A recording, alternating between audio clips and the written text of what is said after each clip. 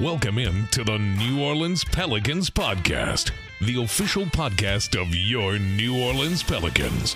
A podcast dedicated to everything you need to know about the squad. Hear from players, coaches, broadcasters, and those who cover the NBA on a daily basis. It's time to flock up. The New Orleans Pelicans podcast starts right now. All right, welcome back to another edition of the New Orleans Pelicans podcast, your official podcast of your New Orleans Pelicans. It is day three of training camp in Nashville. Two a days done with, just one practice today on Thursday, tomorrow, day off. Another practice on Saturday, Sunday before the team flies back in, and boom, we are in the preseason opener back at the Smoothie King Center as the Pelicans take on Todd Graffagnini, voice of the Pels. The Orlando Magic. There it is. You've been doing your homework already, looking at the lineup and things of that nature. Todd back with us again. Jim Eichenhofer from NewOrleansPelicans.com. So we're going to have a, a, little fun with this podcast today. We're going to kind of go over what we saw yesterday because we saw a lot. We saw sequences of, of late game situations, Todd. Jim, we also saw a variety of different lineups, which is what Willie Green has been saying and it was a very competitive evening as well. So we'll touch on that in the first part of this podcast and kind of go over what we see in today's practice here as well. But I guess we just start with look, we, we've been wanting to see what this team was going to sort of look like in competitive situations. And Todd, the first thing that stood out to me when they started the afternoon or the evening practice after doing drills, they go at it here, blue versus gray, blues, you know, different lineups that we're going to be seeing. But Brandon Ingram, yep. Dejounte Murray, first, I guess, competitive drill where they were trying to get to what 10 points or 13 points or whatever i mean it was bi and it was dejounte yeah no it, it, we were kind of joking after it was over because they're wearing the blue jerseys and the opponent whoever might be that grouping is wearing the gray jerseys and then there's another group that's wearing the red jerseys so this one was blue versus gray. And we were saying after it was over because the blue won easily, and that's what you would say would be the front line mm-hmm. guys on these rotations,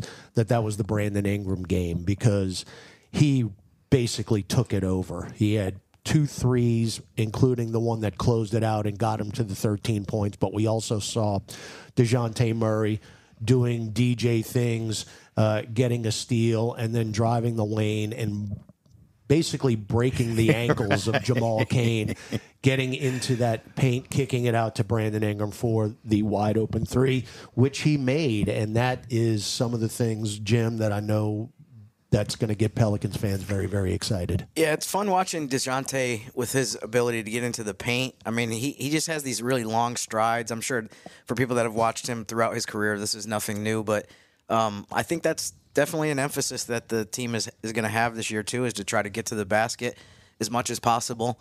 We love the threes, um, but you know layups are and dunks are better than that, especially when you're talking to Gus. Mm-hmm. But I mean, a lot of times the a lot of times the penetration that Dejounte does uh, um, opens up the wide open threes because all of a sudden a bunch of guys are pulled in defensively trying to help, and they'll and then you got all these guys spotting up for open shots. But yeah, it's it's interesting to see just some of the different combinations that they're using. I mean, there's a countless number of things that they can go with. There's small lineups. There's maybe some bigger lineups. There's probably lineups, especially when you get into some of the depth that the Pelicans have at the wing, where you could probably put like five wings on the court all at the same time and still have a lot of ball handling and have a ton of switchability.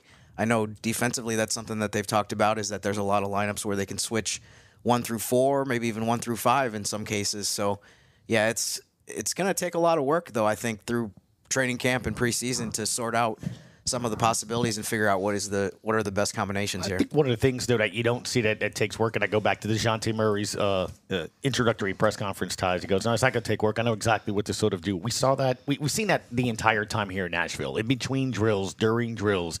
He's pulling players aside. He's kind of telling where to go. And the thing that either can do or, or can't in that first session there was, you know, Daniel Theis is driving down the lane. Right. DeJounte's driving.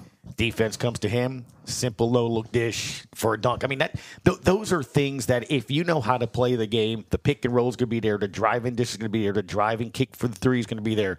That's just, it's such a natural thing for him that it's just going to kind of take getting used to who they are. But that guy can do that. We saw that immediately. No, and the thing about Murray is he just he's such a threat on both sides of the court. And we talked about the steals and the deflections yesterday, but you know, a couple days ago when you're listening to him speak, you're thinking, well, this guy could actually make a run at it and lead, leading the league in assists.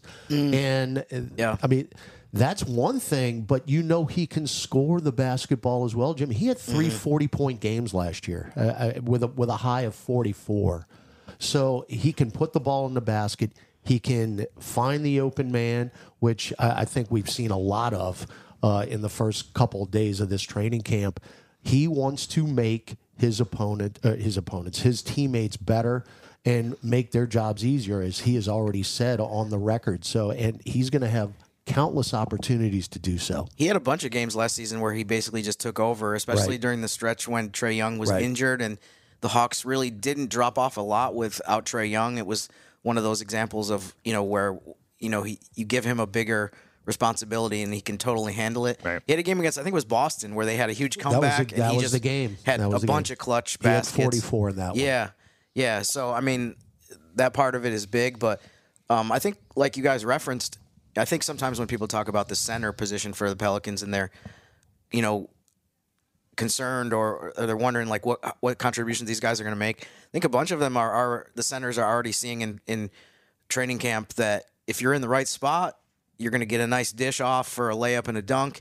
We've seen Theis do that a bunch of times where, you know, and this is something Antonio Daniels mentioned in the video updates that he and Joe Myers have been doing that it's it's about being opportunistic if you're in tho- those position if you're in that position um, be in the right spot cut at the right time and i think when you're playing with some of the you're, a lot of these guys are going to be playing with four other proven decorated nba scorers and they're going to be the player that maybe the other team is is paying a little bit less attention to that's when you just cut right to the front of the rim and you end up with a dunk There's a basketball term you keep referencing, triple double. You keep saying that, and I think we're going to see a couple of those. Look, one of the areas the Pels struggled last year, late game situations, closing things out. So what? Four minutes in is kind of clutch time. It's five minutes, Right. five minutes or less, five point game either way. Right, well, that yep. that starts the clutch game. So last night, head coach Willie Green says, "Let's do a couple of um, you know periods here. Uh, four minutes on the clock, game tied. Right. Let's see what happens uh, on some of those. They did that later when it was just 48 seconds, game tied. But the this these three periods, no score, got to get to 13. Right, I think is what it was, and four minutes to play." Different lineups. He said we're going to see different lineups. So we saw different groups on there. The thing that stood out to me, there were three periods. Two periods, DeJounte Murray on the floor. One period, no. What did we see with the period without? Well, unfortunately, I got into a DeLorean and went back to some of the clutch situations that we had last year where we were not able to close it out. And Gus, we were standing right next to each It other. It was 10 2. 10 2 the blue team Mm-hmm. had the lead in a cl- you know with with the time going down and we're looking down there and I'm thinking to myself and then I mentioned to you there's no true ball handler because Jose Alvarado was on the other side And he So was amped up. he was pretty was- amped up so again that would have been your ball handler Right. in that situation but he was on the gray team so there's no ball handler and i'm thinking to myself uh-oh this could be trouble and sure enough the very first the very first possession going down was a shot clock violation they did not get a shot up and then the comeback was on and the great team It was an 8 0 run. it was an 8-0 Yeah. run in a blink in the blink of an eye Two overtime. Blue did win, but that, to your Correct. point, It, that they- was the thing. And, and we talked about it. Said this is why you get Dejounte Murray. I mean, it was it was basically out there for everybody to see, and you know he but he was not participating Right. during that particular drill. You had to see if anybody else was going to step up, but that that was an issue, and we talked about it constantly. But that's why you got that guy. i'm not going to panic uh, uh, about the second no, day we're of training camp We're just- that- that's the- I'm not going to get. I'm not going to get stressed out. but but no, This I mean the I think it's, impact he has, though. yeah, I think It, it is interesting to see you know teams try to run through situations. I I love watching. You know, you condense the game down to the end, and you see some of the situations that come up. You you you know during the regular season, you wonder like how do how are teams prepared for you know, okay, you're down by one and there's 35 seconds on the game clock, 24 on the shot clock. You go for two for a two for one. Do you hold the ball? It's just, I think it's it's it's really interesting just to watch teams kind of go through all these situations and you try to learn as much as you can from going through all kinds of scenarios at the end of games. And that's what training camp and preseason are for. No doubt. And, and to Jim's point, Todd, what we saw the final two periods of practice 48 seconds on the clock, 97 97 each team. And it was exactly what Jim just said to work on inbounding the basketball, late game free throws, Yep. um, screening things off, getting rebounds, things that we like. Those are the things with 48 seconds to go. It's a possession or two, and, and, and little things like inbounding the ball or backing, you know, the defensive player way to get that rebound and not getting a putback, which Gray got on Mm-hmm. one of those. That that's one of the things that that's what you work on right now. No, absolutely. Uh, this is what training camp. This and, and it, it's good because you can physically work on these situations, time on the clock, and and that's what a head coach and the assistants they're looking at the film after that session was over last night. It's like, all right, this is what we need to work on. This is this is what is positive. This is what was negative, and and you can mix and match. You can uh, add a, a player to like maybe we'll see something different today uh, going into it. So it, it's it's all trial and error right now. Nothing counts, but you're putting things on tape for the coaches. Quick side note too. I think it's interesting that inbounding the ball is so much more important and significant than it used to be because if you go back maybe I, I forget how many years it was, eight, ten years ago, they drastically cut down how many timeouts you get at the end of the game. So at the three minute mark, you only have two timeouts maximum. It used to be you could go into the last couple minutes with four timeouts. So you had a lot of margin for error. Like, okay, we can't get the ball in bounds, no big deal. We'll just call a timeout. point. But now it's just so much more important that you know exactly what you're going to do in every situation to getting the ball in bounds. And I think the one thing as we close up, just the recap from the evening portion of practice yesterday is with all those different lineups and what we saw, there are a lot of options. And, and, and the three balls are going to be there. The driving kicks are going to be there. I I think it's going to be exciting for fans here in a couple of days to get their first look at it. There are options on this team. I, I, I think, and I, I would uh, guess that you would agree with me. I mean, th- there really is an emphasis on shooting a three, at least very, very early in this camp. And we talked about Matt Ryan wearing the blue uh, yesterday, and how about Jordan Hawkins last night? Uh, I mean, he was spectacular. Yeah. Um, coming off the curl, catching shoot threes from the wing. You know, I went over to Antonio. Da- I went over to Antonio Daniels a couple times, and he was just shaking his head in a very good way because it's like, Yeah. that kid can Yeah. flat out shoot. And to your point yesterday, oh my, Bi. I mean, he keeps knocking down threes and he looks good, and he's still driving He, and doing he those took a couple. too. He took a couple of mid ranges last Yeah. night. Those were the first two that we saw. But again, most most of his shots are coming from the perimeter. But we also saw the patented drive to the drive to the rim and uh, king finger roll. Oh, he did it. Yeah, I mean Jordan Hawkins, I love watching his quick release. I mean, he gets the ball off so so, fast. It's, Yep. he- the ball's barely in his hands, and he's already off the floor and firing. So, yeah, I think during preseason maybe we'll keep track of we'll keep a close eye on how many threes they take in each game. I know you guys mentioned yesterday the 40 number as as a goal. Maybe that'll be something that can be emphasized in at least in preseason and see if that that's something that becomes a habit. All right, we don't want to miss the bus, so we want to get down over to Belmont and we'll check out what takes place in the you know next portion of practice here on the Pelicans podcast. All right, practice is in the books for Thursday afternoon. Todd and Jim going to get your quick thoughts as to what we saw. I think we're in agreement, you and me, Todd. Jose Alvarado stood out today. No doubt about it. And just the competition, the intensity. I mean, it almost felt like a regular season game out there, the way the two teams were going at it. But just Jose has looked so comfortable and so confident. You know, he's got the contract behind him, and he's got now stability and security in the league, but it hasn't affected his attitude. He's the same Jose, but he just looks like a different player. And quite honestly, Gus, he should be because it's his fourth year in the league now, and he's a seasoned vet who's played many meaningful games for this team. But he looks like it right now in training camp. All right, you're going to head downstairs, do a little TV stuff. You'll get to see more of Graf along with Andrew Lopez and our television report coming up here as well. Uh, Jim Eichenhofer, your thoughts, man. What stood out to you? Again, for me, it was Jose Alvarado, looked confident, kind of like what Todd just said.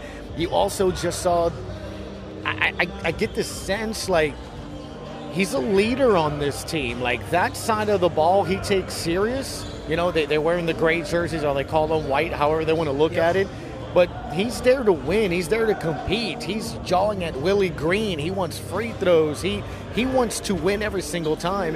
And then when they played a couple of five minute quarter sessions, he had pretty much all but one bucket in a game uh, in a quarter session, which means he dominated. You use the right word when you say he wants to win. He's such a winning player. I mean, if we look at the, the numbers last year of the Pelicans record when he played versus in the games that he missed, it was a drastic difference. I'm really excited about this point guard combination that the Pelicans have between he and DeJounte Murray. They were going through a lot of end of game situations where it's like tie game, two minutes. How do you execute? One of the stats that I mentioned maybe earlier in the offseason, maybe more wrote, about this, not necessarily on the podcast, was the Pelicans scored 203 clutch points as a team last season. DeJounte Murray had 103 by himself. So basically, or 106. So he had almost half, he had more than half of the points in clutch time that the Pelicans had as a team overall, just to kind of give you an indication. Now, it's not apples and apples to apples because the minutes, the amount of minutes is different, but still, I mean, that's pretty interesting, incredible how productive he was last year in the clutch. It's interesting you bring up clutch because it's been apparent since we've been here in Nashville they have an off day tomorrow, but every day after practice, they're working on it from different aspects of it layups, three point shots, then time situations. We saw that yesterday in the evening one, right? 48 seconds on the clock, two minutes on the clock. And they emphasized that here again today. And it look, and you can see why they do it. It's it's hard. You have to get the inbounds in. You have to finish the shots. Yves Missi could have won the game in the scrimmage to the end here. Jose with a beautiful drive, but she didn't miss one um, pair of starters, missing one of the front end of a back-to-back, you know, for free throws, just things that nature that all add up. Zion and Bi, one for two from the line late, just things of that nature. You, this is why you work on it now because it, it does come into effect in the regular season. Yeah, I mean, a lot of it is all about execution, and I guess if you want to look at it in one good way, if you want to be glass half full, if you look at the talent that they have, and, and you go back to last season and go through a bunch of different categories, we looked at you know, offensive efficiency, turnover rate, three point percentage. It's incredible how much of a difference there was between the way the Pelicans performed in those last five minutes of close games and the way they did overall. So, in some ways, I feel like there's nowhere to, to go but up. There's, I don't, I don't see any way that they'll perform as as poorly as and have as many struggles as they did in clutch time. But I mean, that's something that they're working on right now because we know in the Western Conference where from the beginning of the season you have to be on top of your game and um, you're going to have so many close games in the West because there's so many good teams. So that part of it is huge, and, and hopefully they can make a big jump there. Well, well, fans are going to see soon enough here with the first preseason games some of the different lineups and availabilities that Willie Green has to go to lineup wise. But look, you and Ty were just kind of having a little fun little session of just how deep this team sort of is. I mean, you you can legit throw five, six, seven, eight, nine, ten guys on this court and feel comfortable with, like, in, to the point where, like, I'm comfortable with Jose running the show. I'm comfortable with CJ running, you know, Brandon running. I mean, like, you legit. We haven't even got to a lot of the players that, you know, are gonna see minutes for this team. Yeah, I mean, I feel like to some we see this to some degree every season, but I definitely think you could be in a situation this year where there's fans that say we got to get this guy on the court. I don't understand why he's not playing, and you're like, well, he's the 13th man, the 14th man. Um, they're deep. You're, you're going to have that that situation where, again, there's going to be a lot of difficult decisions that have to be made as far as you have multiple guys that can fill a role, and you're going to have to pick one of them. Um, there's only so many minutes to go around, and, and you already have six guys at the top of this roster that you think are going to play somewhere in the neighborhood or way over 30 minutes. So eventually you start to run out of out of time. Um, I don't want to get too complicated with the math, but there's 48 minutes a game. There's five players. That's 240 total minutes. So you have three guys that play, or six guys that play 30 minutes. That's 180. That leaves 60 for everyone else. So you can see how how fast it is. Where you're like, there's not a lot of extra time to go around. So it's going to be a difficult decision to narrow it down, but I'm sure we'll get into this more when we talk more specifically about the preseason game on Monday. It's going to be really fun to watch to see how they decide the lineups and what we see as far as minutes. And I mean, there I would think too there's going to be some cases where there's guys that maybe don't play at all in the first preseason game and then play 20 minutes in the second pre- preseason game and vice versa. But difficult decisions that the coaches are going to have to make. The Pelicans podcast. Not only do you get the latest Pels information, but also a advanced mathematics math. class. A lot of math. Yep. I'm terrible at math. Uh, one final thing before I wrap up here, man. In my time in Nashville, uh, something else that stood out to me at practice, Jose Alvarado, I think was the story today. But Zion Williamson's a close, you know, second. I would say 1A to 1B, and I say that, Jim, not because he hasn't had any good practices, but today really looked like the Z towards the end of last season as Graf would say, he had that that stroll, that tiger stroll. That bounce? Yes, Yeah. that bounce where you can kind of see it. He was eager to get possessions going. He was quick to the basket. You saw him finishing in the glass. He saw him playing defense, hands on the ball.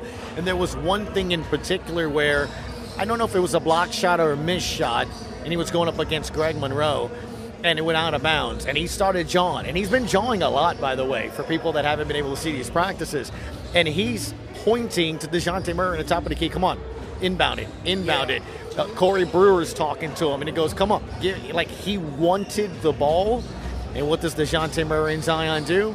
They do a pick and roll. Zion goes right down the lane and scores, and he starts to talk. But I love that. I just wanted to present that to fans listening. There's a different look in Zion's eyes and in his body language and in his play this training camp than the previous ones. Am I wrong on that? No, you're right. I mean, imagine if just with DeJounte's presence, you're talking about maybe three, four easy baskets per game more that Zion got than he had in the past. He's already a guy that averages, you know, maybe around 25 points a game. Maybe he can up that even more. But um, that's one of the things I noticed too is, and people are going to watch this in preseason games, is just the way that DeJounte and Zion play off of each other. Some of the pick and rolls that they can put together. The fact that DeJounte always has his head up and he's always looking for him. So, I mean, that's going to be so much fun to see those two guys combine on a lot of the plays uh, in the in the half court off, on the offensive end. Yeah, no doubt. Will you, sir, try to behave yourself. You have a day off tomorrow, which means tonight and tomorrow, Broadway. Oh, look out. Oh, man, look, I'll tell you what, Alabama is in town to take on Vanderbilt over the weekend. I don't know who's going to be wilder, the Alabama fan base or you. Probably me, but uh, we'll have to see. We'll, we'll see what I can what I can come up with this weekend. And have- I still have to work though, so I'm gonna have to keep it somewhat under control. But you know me, man. It's anything could happen this weekend. Yeah, no doubt. Well, we're still going to have another podcast from Nashville. You and Todd will join me on Saturday to help us pre- preview the preseason opener against the Magic will be on Monday. So next time I see you, sir, we'll be in New Orleans. The next time the New Orleans Pelicans podcast will come your way will be tomorrow, as you will hear our conversation with Andrew Lopez, newest member to New Orleans Pelicans team. Looking forward to having him on throughout the rest of the year here as well. So as always, appreciate you for tuning us in. That'll do it for this Thursday edition, day four of New Orleans Pelicans training camp. I'm Gus Kattengell's, Jim Eichenhofer. We'll see you next time on the New Orleans Pelicans podcast. Thanks for listening to the New Orleans Pelicans podcast. Join us three times per week on Pelicans.com, the Pelicans mobile app, the iHeartRadio app, or where you get your podcast. And be sure to give Jim and Gus a follow on X at Jim underscore Eichenhofer and GCat underscore 17. We'll see you next time, right here on the New Orleans Pelicans podcast.